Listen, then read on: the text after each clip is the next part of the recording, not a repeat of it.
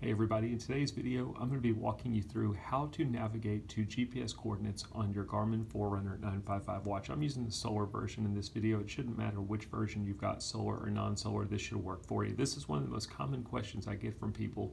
There's a bunch of different ways you can navigate on this watch. You can use the map, you can use Sight and Go, you can use your saved locations, but what if you've got the actual GPS coordinates that you want to navigate to? Maybe you've got a buddy that's hunting, he gives you his GPS location, and you want to navigate to that. I'm going to show you how to do it in the video. Now this is a touchscreen enabled watch, so you could use the touchscreen functionality. I'm going to be using the buttons though.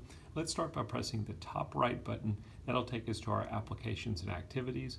In this video, we're going to be using the Navigate application. If you don't see it in your list, you'll need to add it. It's available on the watch. You just have to have it visible. I've got it set up as a favorite. I'm to go ahead and choose Navigate. And then once we go into Navigate, you're going to see a few different options. You've got courses. I'm to use the up or down button to go to the other options. Points of interest, around me, round trip course. If you keep going near the bottom, you'll see an option for coordinates. Simply press the start and stop button. Again, if you're using touchscreen, you could simply click the watch. It'll bring up the latitude and longitude uh, values, and all you have to do is change them to whatever coordinates you want to navigate to. You'll notice the highlighted value shows me what I can change. I can use the up or down buttons to change that. Then I can press the top right button to progress to the next buttons. Change it to whatever you need to. Keep pressing the top right button to progress to the next value.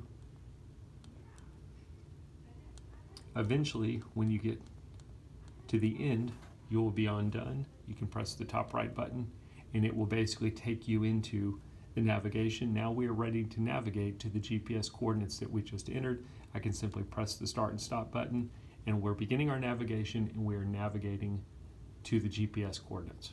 Pretty simple stuff. As always, I hope the video helps. Thanks for watching.